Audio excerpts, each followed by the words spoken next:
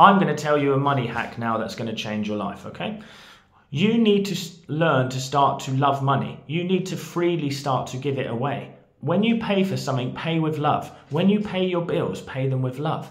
When you pay someone back, pay it with love. Start to give out the money with love and freedom and watch how it comes back to you.